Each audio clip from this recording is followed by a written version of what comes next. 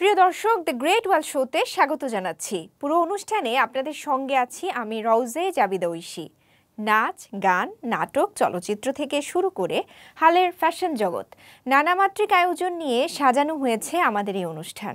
চীনের প্রাকৃতিক সৌন্দর্য, সাংস্কৃতিক ঐতিহ্য, উন্নত সমৃদ্ধ এবং বৈচিত্র্যময় জীবনধারার গল্প আপনাদের সামনে তুলে ধরব। অনুষ্ঠানটি উপভোগ করতে আমাদের সঙ্গেই থাকুন।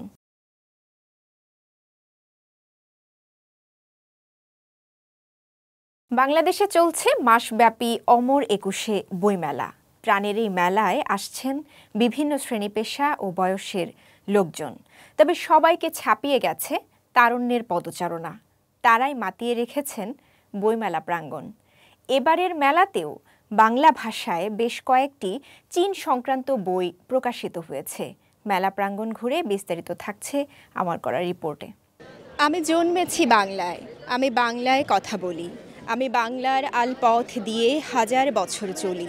চলি পলি মাটি কোমলে আমার চলার চিহ্ন ফেলে, তেরো শত নদী শোধায় আমাকে, কোথা থেকে তুমি এলে? বাঙালি জাতির এই কোথা থেকে তুমি এলের ইতিহাস অনেক গৌরবের। বাংলা ভাষা বাঙালির প্রাণের ভাষা, আর এই ভাষার মাস ফেব্রুয়ারি। তাই এই মাস জুড়েই চলে অমর একুশে বইমেলা। স্বাধীন বাংলাদেশের পথ চলার সঙ্গে ওতপ্রোতভাবে জড়িয়ে আছে যে মেলার নাম। বাঙালির ভাষা, সংস্কৃতি ও ঐতিহ্যকে ধারণ করে এই উৎসব। প্রতি বছর বাংলাদেশের রাজধানী ঢাকায় বাংলা একাডেমির আয়োজনে ফেব্রুয়ারি জুড়ে অনুষ্ঠিত হয় বইমেলা। এবার ইংরেজি ক্যালেন্ডারে চলছে অধিবর্ষ। তাই মেলা চলবে উনত্রিশ ফেব্রুয়ারি পর্যন্ত। বাংলাদেশের বইপ্রেমীরা সারা বছর অপেক্ষা করেন এই মেলার জন্য। কারণ এই সময়টাতেই লেখক, প্রকাশক ও পাঠকদের মিলন মেলা জমে ওঠে। নতুন বইয়ের ঘ্রাণের নেশায় দলে দলে ছুটে আসেন বই পোকারাও কিন্তু এই প্রযুক্তির যুগে দাঁড়িয়ে কাগজে ছাপা বইয়ের গুরুত্ব কমছে না তো? মেলায় তরুণদের আনাগোনা অনেক বেশি থাকলেও প্রকৃত পাঠকের সংখ্যা কম। তবে কেউ কেউ বলছেন, মোবাইলের স্ক্রিনে ইবুক পড়ার চেয়ে সরাসরি বই পড়ার আনন্দটাই বেশি। মোবাইলে এতটা অ্যাডিক্টেড হয়ে গেছে যে আমরা বই পড়াটা অনেকটাই ভুলে গেছি। সো আমাদের উচিত যে আমাদের ফ্রি টাইমগুলোতে মোবাইল না চালিয়ে বই পড়ার প্রতি মনোযোগ দেওয়া। কারণ আমরা বই পড়ায় যে একটা একটা জ্ঞান অর্জন করি সেটা কখনোই হচ্ছে মোবাইল ফেসবুক এগুলোতে কখনো হয় না। মেলা প্রাঙ্গণ ঘুরে নানা বয়সী মানুষের দেখা মেলে। বই পড়ার প্রতি আগ্রহ বাড়াতে সন্তানদের মেলায় নিয়ে আসেন অভিভাবকরাও। শুধু রাজধানী নয় দেশের বিভিন্ন প্রান্ত থেকেও ছুটে আসেন অনেকে। আমি প্রতি বছর বই মেলাতে আসি। বইয়ের প্রতি উৎসাহ আগ্রহ থাকে ভালো লাগে বই পড়তে। ওদের উৎসাহ দেওয়ার জন্য আমি নিয়ে আসি। আগে ছিল বই পড়ার প্রতি আগ্রহ বেশি, কিন্তু বর্তমানে ছেলেমেয়েরা তো মোবাইলে আসক্ত। কিন্তু এই মোবাইলে আসক্ত থেকে কীভাবে বইয়ের দিকে নিয়ে আসা যায়, এটাও একটা চিন্তা চেতনা করা দরকার আমাদের। আমাদের বাচ্চারা যাতে বইয়ের দিকে বেশি আকৃষ্ট হয়, মোবাইলটার দিকে কম থাকে। তবে বিশেষজ্ঞরা বলছেন, তরুণদের বেশি বেশি বইমুখী করতে হলে ভালো বিষয়বস্তুর উপর ভালো লেখকদের মানসম্মত বই প্রকাশ করতে হবে। এদিকে মেলায় এবারও বাংলা ভাষায় বেশ কয়েকটি চীন সম্পর্কিত বই প্রকাশিত হয়েছে। চীনা ভাষা, সাহিত্য, সংস্কৃতি, ঐতিহ্য এবং চীনের ইতিহাস ভিত্তিক এসব বই প্রকাশ করেছে। তাম্রলিপি, অ্যাডর্ন এবং পরিবারসহ বিভিন্ন নামকরা প্রকাশনী। চীনের বিভিন্ন বিষয় নিয়ে যৌথভাবে দুই দেশের আরও বই প্রকাশের কাজ চলছে বলেও জানান গেল বছর চীন ঘুরে আসা এই প্রকাশক মানে অনেকগুলো অনুকথনের মতো করে বাংলা বাংলা ভাষাভাষীদের জন্য করছি চীনের রূপকথার আমরা কয়েকটি সিরিজ আমাদের আসতে যাচ্ছে। আমরা হয়তো আগামীতে বাংলাদেশের পঞ্চাশ বছর যে সম্পর্ক চীন, বাংলাদেশ, সেটা নিয়েও কয়েকটি বইয়ের আমাদের অলরেডি পরিকল্পনা চলছে। তো একজন প্রকাশক হিসেবে চীনের চীনের ভাষাভাষী এবং চীনের যে একটা বড় সভ্যতার সাথে আমাদের যদি বন্ধুত্বের মাধ্যমে জ্ঞানের নলেজের ব্রিজ আমরা করতে পারি, অর্থনৈতিক সমৃদ্ধির সাথে আমরা একাত্ম ঘোষণা করতে পারি। সংশ্লিষ্টদের দেওয়া তথ্য মতে, এবারের বইমেলায় ছয়শো পঁয়ত্রিশটি প্রতিষ্ঠানকে মোট নয়শো সাঁত্রিশটি স্টল বরাদ্দ দেওয়া হয়েছে। বাংলা একাডেমির মাঠে একশো বিশটি প্রতিষ্ঠানকে একশো তিয়াত্তরটি এবং সোহরাওয়ার্দী উদ্যানে পাঁচশো পনেরোটি প্রতিষ্ঠানকে চারশো চৌষট্টিটি স্টল বরাদ্দ দিয়েছে কর্তৃপক্ষ। রওজে জাবিদা ঐশী, সিএমজি বাংলা, ঢাকা।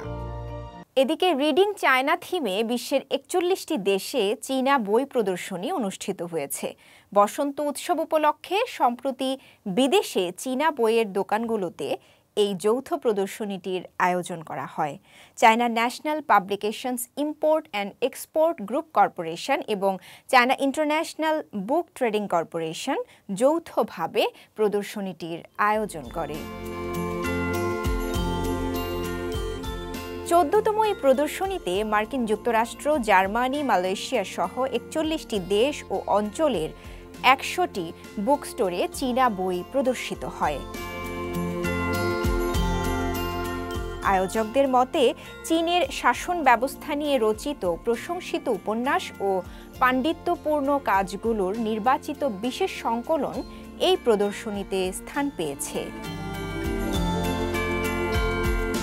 তারা মনে করেন, বিচক্ষণ বিদেশি পাঠকদের পছন্দের তালিকায় স্থান করে নিতে যথাযথভাবে তৈরি করা হয়েছে এই সংকলনগুলো। এই প্রদর্শনী বিদেশি চ্যানেলগুলোর সুবিধা এবং বিদেশে চীনা বুক শপগুলোর সাংস্কৃতিক গুরুত্বকে কাজে লাগাচ্ছে এবং এর মধ্য দিয়ে আকর্ষণীয় চীনা গল্প, বর্ণনা এবং দেশটির বার্তা পৌঁছে দেওয়ার ক্ষেত্রে গুরুত্বপূর্ণ ভূমিকা পালন করছে।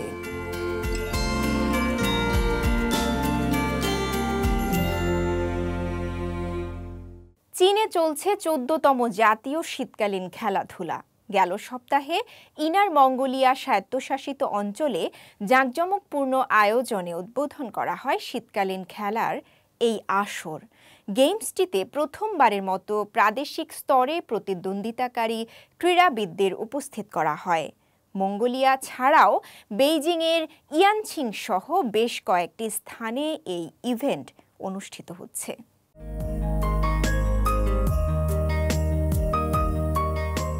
উত্তর চীনের স্বায়ত্তশাসিত অঞ্চল ইনার মঙ্গোলিয়ায় শুরু হয়েছে চোদ্দতম জাতীয় শীতকালীন গেমস। আর এই আয়োজনের হাত ধরে চীনের বরফ ও তুষার নিয়ে খেলাধুলা পাচ্ছে নতুন গতি। দেশ জুড়ে বাড়ছে শীতকালীন পর্যটকের সংখ্যা।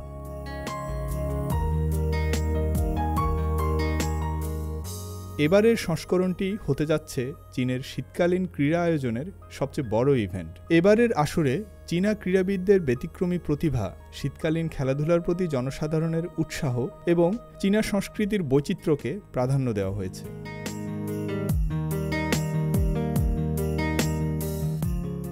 সেখানে প্রাকৃতিক সৌন্দর্য ও চোখ ধাঁধানো বরফের ভাস্কর্য ছাড়াও আছে বেশ কিছু বিনোদনমূলক কার্যক্রম। যার মধ্যে রয়েছে বরফের রাস্তায় উটের টানা রাইড, বরফের ওপর নাচ এবং কুস্তি।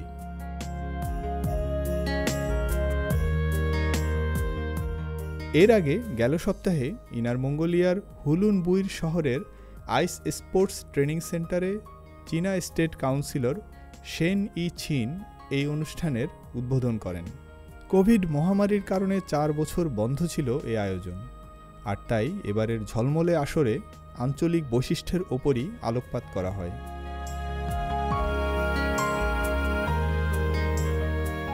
উদ্বোধনী আয়োজনে শিল্প প্রদর্শনীর আগে বেইজিংয়ের গ্রেট ওয়াল, সাংহাইয়ের ওরিয়েন্টাল পার্ল টাওয়ার এবং হাংচৌতে ওয়েস্ট লেক সহ এলইডি স্ক্রিনে প্রদর্শিত হয় স্থানীয় নানা গুরুত্বপূর্ণ স্থাপনা। এ সময়ে ভেনুতে প্রবেশ করে ৩৫ জন খেলোয়াড়ের একটি প্রতিনিধি দল।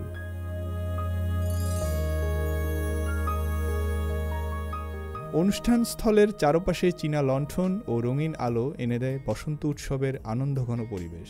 ভার্চুয়াল রিয়েলিটি এবং ডিজিটাল স্ক্রিনের মাধ্যমে দর্শকরা ইনার মঙ্গোলিয়ার সুবিশাল তৃণভূমি, তুষার ও রাতের আকাশের দৃশ্য উপভোগ করেন।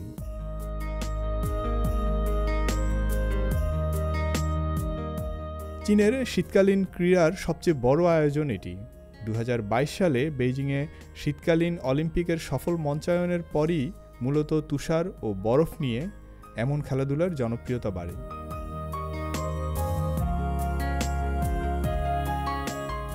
সতেরোই ফেব্রুয়ারি শুরু হওয়া ইভেন্টটি চলবে সাতাশ তারিখ পর্যন্ত। এবারের শীতকালীন গেমসে চীনের ইতিহাসে সর্বোচ্চ তিন হাজার সাতশো প্রতিযোগী প্রতিদ্বন্দ্বিতা করবে মোট একশো ছিয়াত্তরটি খেলায়। আয়োজনটি ইনার মঙ্গোলিয়া ছাড়াও বেজিংয়ের ইয়ানছিং জেলা এবং উত্তর চীনের হবেই প্রদেশের চাংচিয়াখৌ শহরে অনুষ্ঠিত হচ্ছে। Faisal Abdullah, CMG Bangla.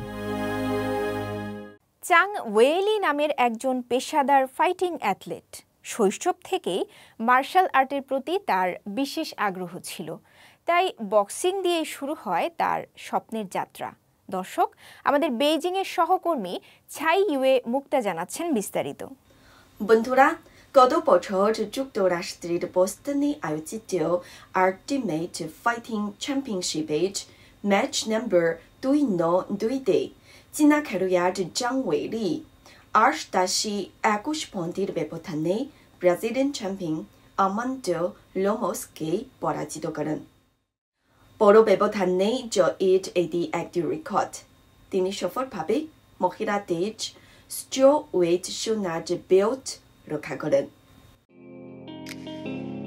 আমার নাম চাং ওয়েলি আমি একজন পেশাদার ফাইটিং অ্যাথলেট। আমি দু হাজার তেরো সাল থেকে পেশাদার এম এম এ খেলোয়াড় হিসেবে প্রথমবারের মতো প্রতিযোগিতায় অংশগ্রহণ করতে শুরু করি। ছোটবেলা থেকে চাং ওয়েলি মার্শাল আর্টের জগতের প্রতি দুর্বল ছিলেন। ছোটবেলা থেকে আমি মার্শাল আর্ট নিয়ে স্বপ্ন দেখি। ছোটবেলায় আমি সব সময় মার্শাল আর্টের চলচ্চিত্র দেখতাম। পরে আমি মার্শাল আর্ট শিখতে চাইতাম। নিজের স্বপ্ন বাস্তবায়নের জন্য চাং বক্সিং বক্সিংয়ে জড়িয়ে বলেন তিনি দীর্ঘকাল ধরেই অনুশীলন করলেন। আমি সপ্তাহে ছয় দিনে অনুশীলন করি, সোমবার থেকে শনিবার পর্যন্ত। প্রতিদিন সকাল ও বিকালে অনুশীলনের ভিন্ন বিষয় থাকে। এমএমএ একটি বিশেষ ও বহুমুখী ইভেন্ট। আমাদের লাঠি, কনুই, আঁকড়ে ধরা জুচিৎসু কুস্তি সব কিছু শিখতে হয়।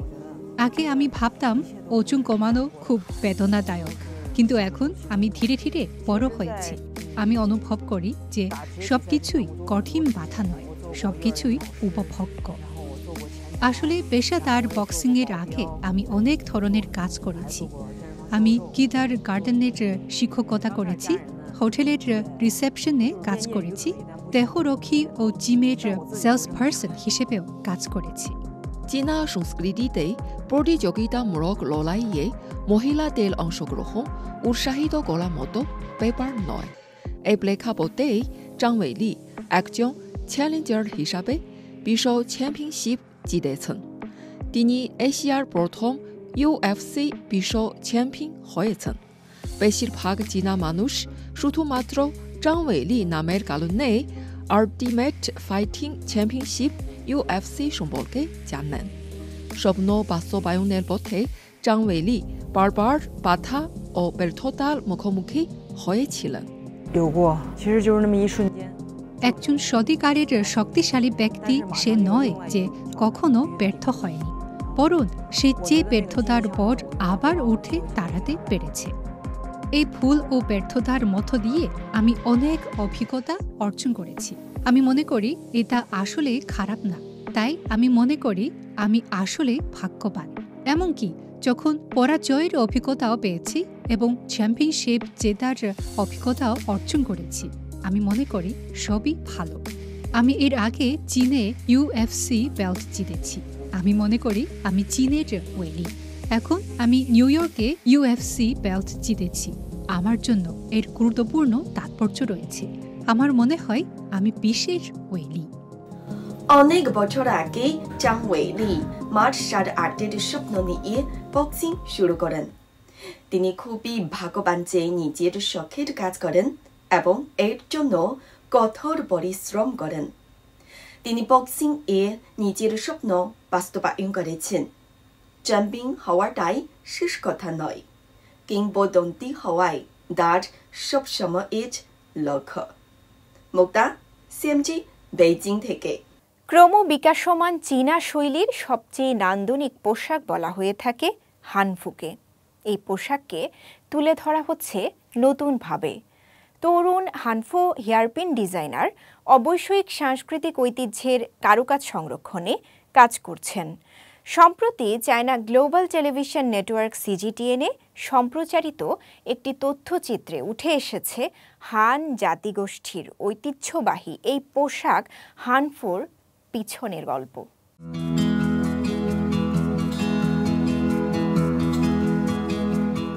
পাখির পালক দিয়ে তৈরি হয় হানফু হেয়ারপিন বা হানফু চুলের কাঁটা। চীনের এই ঐতিহ্যের আরেক নাম তিয়ান ছুই চীনের তরুণ ডিজাইনারদের হাতে এখনও টিকে আছে ঐতিহ্যবাহী এই শিল্পকর্ম। তিয়ান ছুই যা মাছরাঙার পালক শিল্প নামেও পরিচিত। এটি চীনের একটি সাংস্কৃতিক ঐতিহ্য যেখানে মাছরাঙার পালকগুলো বিভিন্ন অলঙ্কার তৈরির জন্য সোনার বা রূপার ভিত্তির উপর সূক্ষ্মভাবে স্থাপন করা হয়। এই শিল্পে একসময় পাখির শরীর থেকে তাজা পালক ছিঁড়ে নেওয়া হতো। তাই টিয়েন ছুইকে নিষ্ঠ সৌন্দর্য হিসেবেও বর্ণনা করা হয়। পুরানো নথিতে। তবে এখানকার আধুনিক হানফু চুলের কাঁটা যারা বানাচ্ছেন, তারা ব্যবহার করছেন পাখির ঝরে যাওয়া পালক।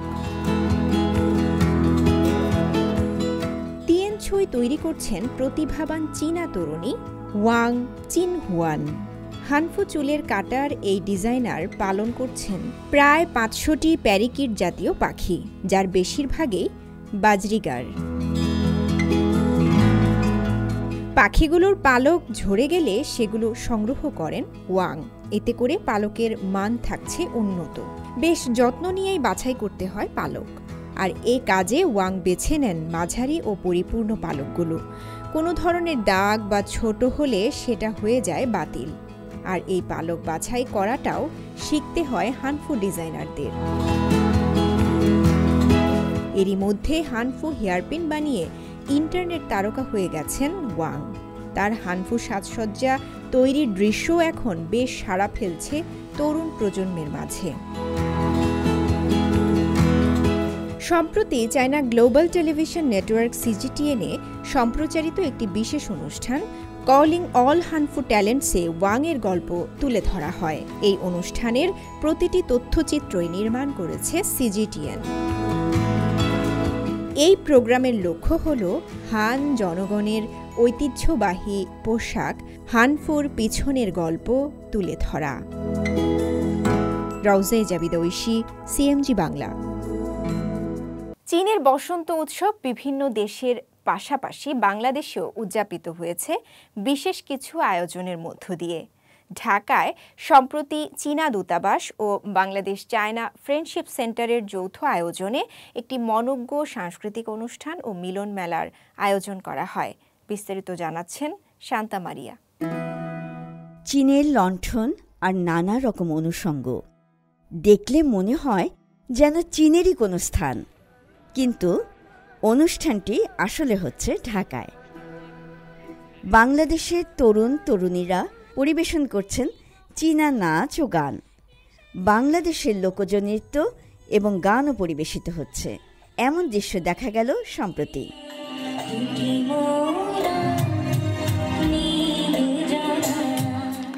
ঢাকার একটি স্থানীয় ক্লাবে চীনা দূতাবাস ও বাংলাদেশ চায়না ফ্রেন্ডশিপ সেন্টারের যৌথ আয়োজনে এক সাংস্কৃতিক অনুষ্ঠান ও মিলন মেলার আয়োজন করা হয়। অনুষ্ঠানে প্রধান অতিথি হিসেবে উপস্থিত ছিলেন চীনা দূতাবাসের deputy chief of mission Yan Hualong. তিনি রাষ্ট্রদূত ইয়াওয়েনের পক্ষ থেকে সকলকে বসন্ত উৎসবের উষ্ণ শুভেচ্ছা পৌঁছে দেন। তিনি ড্রাগন বর্ষে বাংলাদেশ ও চীনের বন্ধুত্ব ও বিনিময় আরও গভীর হওয়ার প্রত্যাশা ব্যক্ত করেন। Both countries that we see more and more দুই দেশের বিনিময় বৃদ্ধির ফলে আরও বেশি করে চীনা নাগরিক বাংলাদেশে আসছেন। এদের মধ্যে ব্যবসায়ী, বিনিয়োগকারী ও অন্যান্যরা রয়েছেন। তারা আরও বেশি পরিমাণে বাংলাদেশের মহান সংস্কৃতি ও সভ্যতা বিষয়ে জানতে পারছেন। চীনের বসন্ত উৎসবের কাছাকাছি সময়ে বাংলাদেশেও বসন্ত উৎসব হয়। চীনের ও বাংলাদেশের মানুষের সংস্কৃতি, পারিবারিক মূল্যবোধ ও চেতনায় অনেক মিল রয়েছে। ভবিষ্যতে দুদেশের আরও গভীর ও ঘনিষ্ঠ সম্পর্ক প্রত্যাশা করি।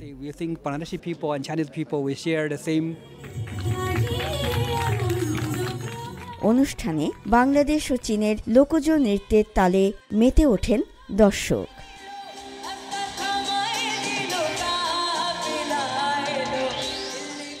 শান্তা মারিয়া সিএমজি বাংলা।